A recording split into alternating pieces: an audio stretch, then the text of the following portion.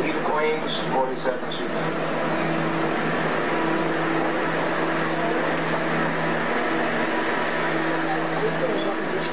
Bye.